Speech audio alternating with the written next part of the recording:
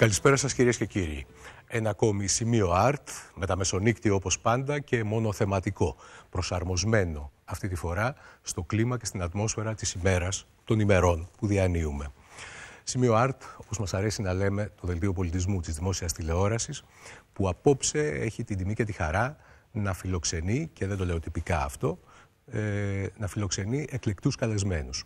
Πρώτα απ' όλα, να ξεκινήσω από την κυρία της συντροφιάς, την κυρία Νεκταρία Καρατζή, μια υπέροχη βυζαντινή ψάλτρια, ε, μια υπέροχη φωνή, ε, τον Παπασταμάτης Σκλήρη, ε, ο οποίος είναι αγιογράφος πέρα από την ιδιότητά του, την οποία βλέπετε, είναι, η οποία είναι ορατή, εξαιρετικός αγιογράφος και φυσικά τον ε, γνωστό ε, συνεργάτη της εκπομπής, τον Μάνο Στεφανίδη, ε, τον ιστορικό τέχνης. Γιατί; Γιατί θα μιλήσουμε για αγιογραφία και υμνογραφία. Ε, δοθήσεις αφορμής και ευκαιρίας λοιπόν. Ξέρετε, το έχουμε πει πολλές φορές ότι οι επέτειοι δεν μας αρέσουν με την έννοια ότι τα πράγματα για τα οποία μιλάμε στις επαιτίους ε, τα διαλέγουμε ευκαιριακά μια φορά το χρόνο. Αξίζει όμως, αφού τα γιορτάζουμε, να αναφερόμαστε σε αυτά πολύ πιο συχνά. Λοιπόν, ε, περισσότερο με την δεύτερη αιτία και λιγότερο με την πρώτη, θα μιλήσουμε λοιπόν σήμερα για ζωγραφική, για αγιογραφία και για ύμνους, για μουσική και για ύμνους θρησκευτικούς. Ε, να σας θυμίσω βεβαίως τον τρόπο επικοινωνίας μαζί μας, που είναι φυσικά το mail της εκπομπής, αλλά και η σελίδα μας στο facebook, όπως τώρα βλέπετε στο κάτω άκρο της οθόνης σας, σημείο art μετατινικούς χαρακτήρες, όπου οι δικές σας παρεμβάσεις είναι πάντα χρήσιμες και ωφέλιμες και τα δικά σας like, γιατί να μην το λέμε άλλωστε, εφόσον αυτά που βλέπετε και ακούτε σας αρέσουν. Πάω στον πάγκο μου να καθίσω κι εγώ για να αρχίσουμε την κουβέντα μας. Ε, με, την, ε, με τους καλεσμένους, ε, να ξεκινήσω με το κατά πόσο, με το ερώτημα, κατά πόσο η μέρα, σήμερα και αύριο που είμαστε στο μετέχμιο της Μεγάλης Πέμπτης και της Μεγάλης Παρασκευής, έχει κάποια ιδιαίτερη σημειολογία όσον αφορά την αγιογραφία και την υμνολογία. Ναι, έχει τη σημειολογία, την κατεξοχήν. Γιατί έχει τον εσταυρωμένο, τη σταύρωση και την αποκαθήλωση αύριο. Και προσκυνήσαμε στις εκκλησίες σήμερα τον Σταυρό του Χριστού, τον εσταυρωμένο. Ε, είναι όλη η περιπέτεια της ζωής του Χριστού που αποκορυφώνεται στη θυσία της Σταυρική ε, από πλευρά ε, του πώς εμφανιζόταν στους ανθρώπους σαν ένας άνθρωπος. Mm. Μέχρι που έρθει η στιγμή της Αναστάσεως, όπου εκεί αποκαλύπτεται η θεϊκή πλευρά σε όλο το μεγαλείο το Αναστάσιμο. Επομένως, αυτές τις μέρες ζούμε το σταύρο αναστάσιμο ήθος. Δηλαδή, έχουμε τον πόνο που σταυρώνει τον Χριστός, έχουμε τα τροπάρια τα οποία μιλάνε για αυτό το την κένωση με ε, δηλαδή το άδειασμα, το, την ταπείνωση του Χριστού προς τον άνθρωπο και υπάρχουν συνεχώς νήξεις στα τροπάρια για την Ανάσταση και για την υπέρβαση ε, του, της φθοράς και του θανάτου. Ε, στις οθόνες μας ε, βλέπουμε, είδαμε και θα ξαναδούμε μια, ε, έναν σταυρωμένο που εσείς ε, Παπασταμάτη έχετε κάνει. Είναι τυχογραφία ναι. στη Στεμνίτσα, στην πλαστεία της Στεμνίτσα είναι ο Άγιος Γιώργη, mm ιστορική εκκλησία από τα χρόνια του αγώνα. Ναι. Και εκεί είναι ζωγραφισμένος ο. Ε, Αυτός ο σταυρωμένος. Αυτή η ναι, σταύρωση. Από το λεγόμενο 12όρτο, δηλαδή από τις 12 σημαντικότερες σκηνές από τη ζωή του Χριστού, είναι η σταύρωση.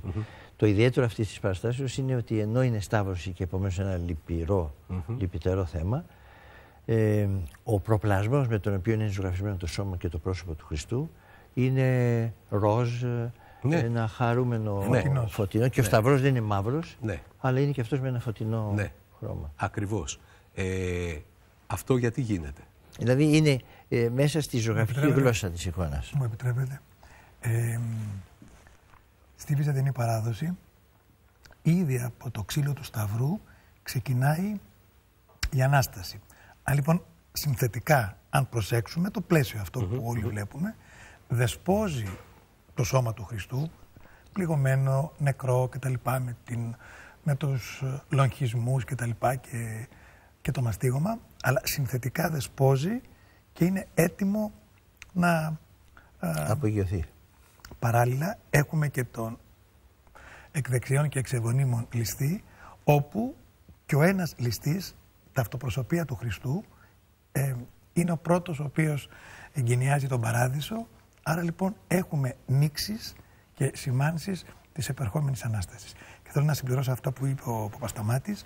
Ε, στην ε, εικονογραφία της ημέρας έχουμε πρώτα την αγωνία στο κήπο της Γεστημανή που είναι μια συνταρακτική σκηνή. Είναι, είναι εκεί που φαίνεται όλη η ανθρώπινη αδυναμία και η ανάληψη της ευθύνης, που λέει το απελθέτω απ' μου και μετά κτλ. Τη μοναξιά που είναι οι τρεις υπερφιλημένοι του μαθητές και τον αφήνουν και είναι μόνος του με χοντρούς υδρότες, με χοντρούς κόμπους υδρότα. Τα λέει αυτά το Ευαγγέλιο, δεν είναι δικά μου. Έρχεται η σπήρα των αιμοσταγών.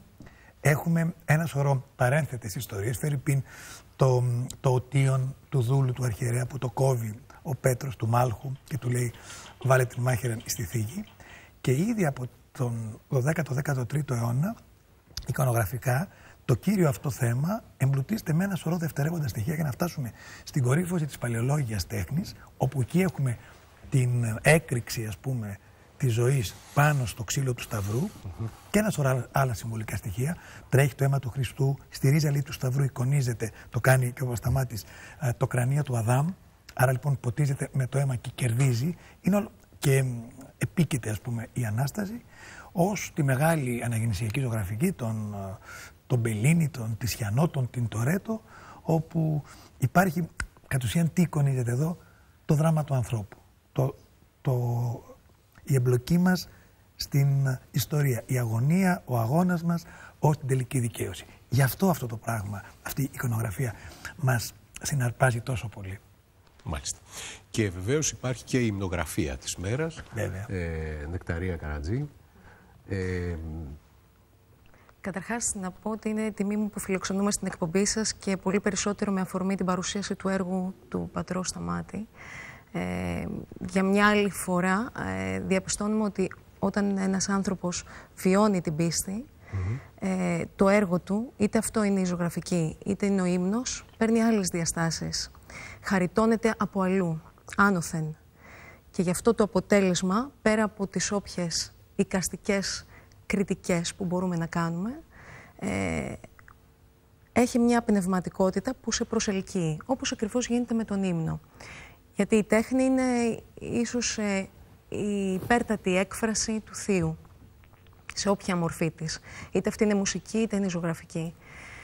Στην ε, ημέρα αυτή έχουμε ίσως από τους πιο συγκινητικούς ύμνους.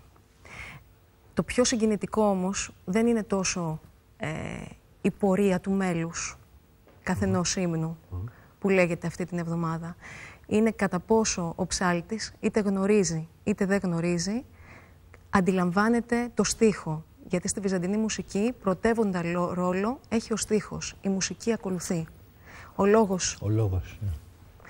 Ε, επομένως, ακόμα και αν ε, στο μέλος ένας ψάλτης δεν έχει την άνεση να πει και να αποδώσει έναν ύμνο, όπως πιθανώς ένας τραγουδιστής όπερας που έχει κάνει τις ορθοφωνίες του και τις φωνητικές του, αν όμως καταθέσει όλη του την ψυχή, τότε μπορεί να ανακαλύψει πολλά μυστικά μέσα από το, μέσα από το κείμενο που θα αποδώσει. Καταλαβαίνω τι λέτε. Ε, υπάρχει πάντα αυτό το στοιχείο της ομολογίας πίστης ναι. σε αυτά για τα οποία συζητάμε, γιατί... Ε, αλλά εγώ θα ήθελα να επικοινωνήσουμε με τους πάντες και να προσθέσουμε στο, στο στοιχείο αυτό της ομολογίας της πίστης που δεν εννοείται ότι δεν αφαιρείται με κανένα τρόπο και με τίποτα και το στοιχείο της διέγερσης του πνεύματος και των αισθήσεων που προκαλεί αυτή η τέχνη ως χρώμα και ως ζωγραφική και ως μουσική.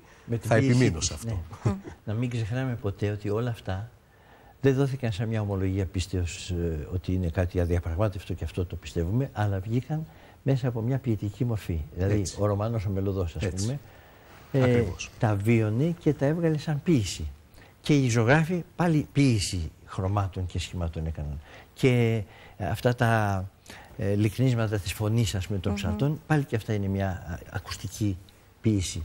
Δεν είναι τίποτα ορθολογικά ας πούμε, Έτσι. δοσμένο σε μια ομολογία πίστεως. Μάλιστα. Και η θρησκευτική τέχνη δεν είναι προπαγάνδα. Ναι. Όταν γίνεται προπαγάνδα, Τότε είναι υπάρχει- κακή τέχνη. Τότε είναι, είναι ε, ακριβώς. Και ούτε εδώ κάνουμε προσιλητισμό. Είναι κακή Έτσι. τέχνη όταν γίνεται Καταθέτουμε προπαγάνδα. την- Οτιδήποτε γίνεται προπαγάνδα. συγκίνησή μας. Είναι και ίσως κακή το τέχνη. πρόβλημα της Εκκλησίας σήμερα είναι ότι χα- ε, λίγο έχει χάσει Έχει το γίνει ποιητικό. πολύ Το γραφειοκρατική. ποιητικό. Ναι. Ναι, έχει γίνει Πολύ σαν περισσότερο προπαγάνδα. εξ- εξουσία και λιγότερο συμμετοχή, μέθεξη. Καρδιά. Και όχι ταπεινοφροσύνη. σήμερα.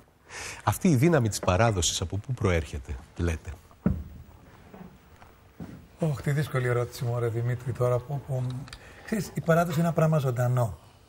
Δεν είναι ένα πράγμα μουσιακό, ας πούμε, ούτε ένα πράγμα φολκροίστικο. Είναι μια καθημερινότητα, είναι ένας τρόπος ζωής. Όσο περισσότερο, ας πούμε, α, κρατούμε ως κοινωνία μια στοιχειώδη συνοχή, σεβόμαστε την ιστορία μας, το παρελθόν μας, ονειρευόμαστε όλοι μαζί όμως ένα κοινό μέλλον ε, και δεν διασπαθίζουμε την όποια μας δυναμική σε εκατομμύρια ατομικισμούς, η παράδοση αυτή έρχεται και συνεχίζεται. Αν θέλεις, γίνομαι βαρετός γιατί το λέω συχνά, η κρίση αυτή δεν είναι οικονομική την οποία διανύουμε. Είναι κυρίως κρίση ιδεών και κοινωνικής συνοχής. Και αυτό δημιουργεί το πολιτικό κενό, την αναξιοκρατία, τα ανύπαρκτα μεγέθη και ούτως καθεξής. Α, η παράδοση είναι η γειτονιά μας. Θα, θα μας ταξιδέψει στον προφήτη Λία, στη γειτονιά μου, στον Ναι, Πειραιά. ναι, θα δούμε, θα δούμε. Αλλά ποια γειτονιά μας, αλήθεια. Εντάξει. Καλό, να την κατανοητό ξαναβρούμε αυτό το τη οποίο γειτονιά λες, μας. Μάνο Στεφανίδη. Έστω και με το νέο, και με το νέο σκηνικό. Με τους μετανάστες, δόσμοι τούτων των ξένων, λέει αύριο. Ε, δηλαδή, έλεος ας πούμε. Ε, αν είναι δυνατόν, το ίδιο το κείμενο, το ευαγγελικό, μιλάει για τον ξένο που τον ράπησαν, που τον, που τον, που τον προπυλάξαν και ζητάει να, να, του, παραχε, να του παρασχεθεί φιλοξενία. Λοιπόν, οι νέες κοινωνίες, αυτές που δημιουργούνται, γιατί οι κοινωνίες δεν είναι ποτέ κάτι στατικό. Δεν μπορούμε να αναπολούμε την κοινωνία του 19ου αιώνα. Ασφαλώς. Η σημερινή κοινωνία με τις σημερινές συνθήκες. Με περισσότερη γνώση, με περισσότερη αγάπη και με, με περισσότερο φόβο ιστορίας. Παπασταμάτη. Είναι ο χώρος, ο- η γειτονιά αυτή που είπατε, που είπε ο Μάνος, είναι ο χωροχρόνος της λειτουργίας. Ήταν τότε όταν ε, η μήτρα αυτής της τέχνης ήταν η Εκκλησία και η Θεία Ευχαριστία. Και στο βαθμό που διατηρούμε μια επαφή με αυτό το ε, χωροχρονικό γεγονός το οποίο επαναλαμβάνεται σε συγκεκριμένο χώρο και σε συγκεκριμένο χρόνο κάθε Κυριακή ή ε, ε, σε μεγαλύτερο μέγεθος κάθε χρόνο ας πούμε μια μεγάλη εβδομάδα στο ποσοστό που συμμετέχουμε σε αυτό και υπάρχει μια συμπάγεια βιώματος είμαστε γόνιμοι και βγάζουμε πράγματα ωραία σαν αυτά που βγήκανε. Στο βαθμό που δεν συμμετέχουμε και έχουμε αποσπαστεί σε διάφορες ατομικότητες όπως είπατε ε, χάνεται η ποιητικότητα και χάνεται η δύναμη. Χάνεται η βιώματος ποιητικότητα και η δύναμη του της βιώματος. Το εκφράσεως. επιτάφιος του Ρίτσου. Η μουσική Ναι. του Θεοδωράκη. Αυτή η συγκλονιστική ερμηνεία του Μυθικότσι από τη μια και της Μέρης Λίντα από την άλλη. Δεν είναι μια συνήθεια, δεν δένει με το μυρολόι το Πώς δεν κυπριακό δένει; που ακούσαμε. Φυσικά δεν. Φυσικά, γλώσσα είναι αυτή που μας Φυσικά. Μα πάνω στη βυζαντινή μουσική ε, στηρίζεται και η λαϊκή μουσική. Το ρεμπέτικο Μετέπειτα το τραγούδι. ρεμπέτικο τραγούδι. Ο, ε, ακόμα και ο Αμανές. Ε, ε, κάποτε είχα γνωρίσει έναν ε, εξαιρετικό άνθρωπο, ε, Αιγύπτιο, σε μεγάλη ηλικία. Είχε υπάρξει και υφυπουργός του Νάσερ και ήταν ως φιλέλλην εδώ, στην Ελλάδα. Ζούσε πια ε, σε ένα πολύ ταπεινό διαμέρισμα, πολύ φτωχικό, με τη γυναίκα του, το γιο του. Ε, είχε χάσει και ένα παιδί και είχε πει το ότι είναι τυχερό που ε, θαύτηκε σε ελληνικό έδαφος, τόση λατρεία είχε. Αυτός έλεγε λοιπόν ότι και το Ισλάμ και όλα αυτά είναι Βυζάντιο. Το θυμάμαι τώρα, ο Άλλη Νούρ. Τον θυμάμαι σαν τώρα να κάθομαι, εγώ ήμουν καμιά 20 χρονών, με ένα καστόφωνο στην πλάτη, που το έκανα κάποια εκπομπή στο ραδιόφωνο τότε, για τη Μεσόγειο, τους λαούς της και τις κουλτούρες της, ε, στο ραδιόφωνο της ΣΕΡΑ, της ΕΡΤ. Και τον θυμάμαι σαν τώρα Υπάρχει και μια να, να λέει αλήθεια. αυτό το πράγμα. Σε αυτό υπάρχει μια αλήθεια. Όλα είναι Βυζάντιο. Βέβαια είχε έναν εντός εισαγωγικών φανατισμό, έτσι, ο οποίος μας άρεσε. μπλε μας τζαμί. άρεσε.